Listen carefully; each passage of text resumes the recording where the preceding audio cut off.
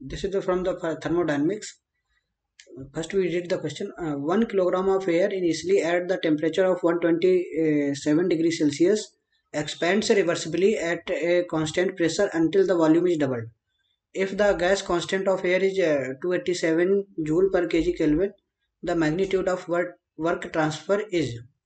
So here first we write the given data and uh, then draw the PV diagram and accordingly solve.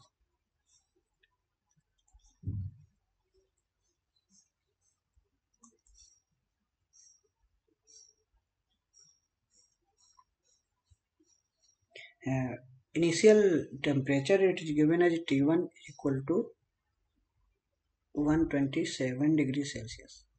Convert to the Kelvin so it will become like 400 Kelvin.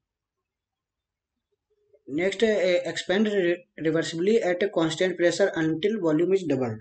Means uh, V2 is equal to 2 2 times of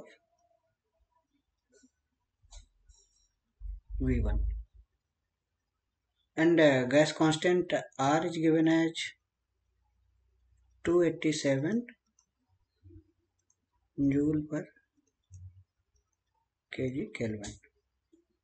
Now the process is the uh, constant pressure process. So for the constant pressure uh, for P is equal to constant we know that uh, the temperature is directly proportional to volume. So T2 by T1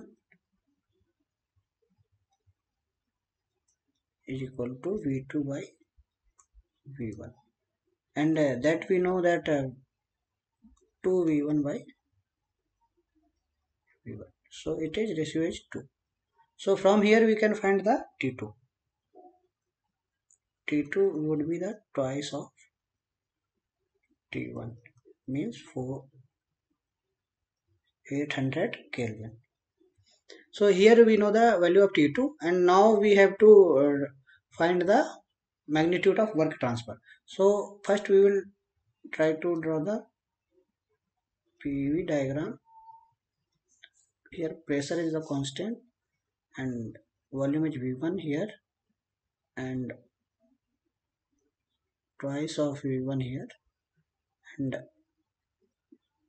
it is the expansion process.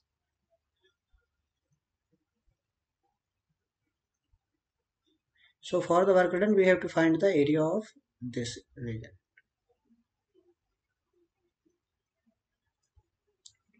And uh, So for constant pressure process,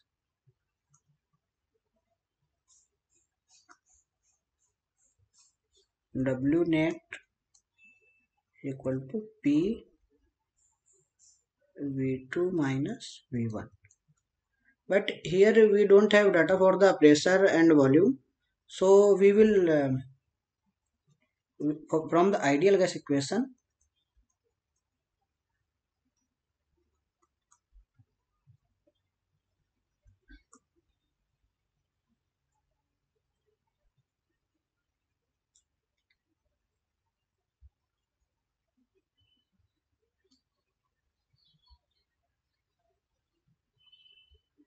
W net equal to M R T2 minus T1 and uh, we have here the value for the M is 1 kg. Uh, it is given already. And R is the 287 and uh, temperature we have T2 is 800 and uh, T1 is 400 on solving. When we calculate this and uh, this will become 114800 so 1144.8 kilojoule so network done for this is the